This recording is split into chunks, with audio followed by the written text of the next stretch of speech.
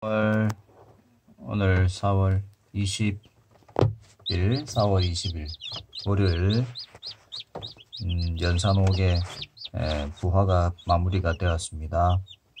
4월 18일부터 토요일부터 에, 아침부터 나오기 시작한 연산옥의 어, 병아리들이 모두 18마리, 모두 모두 18마리가 이제 부화가 되었습니다. 종이 박스 부화기에 15개 그리고 꼬꼬 R16 부화기에 음, 7개 정도 넣었나요?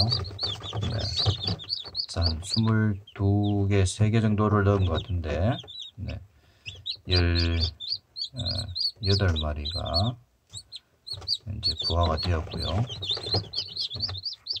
아주 건강하게 놀고 있고 오늘 방금 태어난 이 병아리는 현재 네, 조금 약해 보입니다.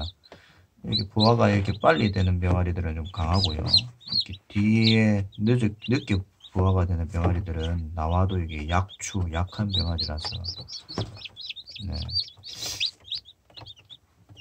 건강하게 살 수 있을지 모르겠지만 일단은 지켜보도록 하겠습니다.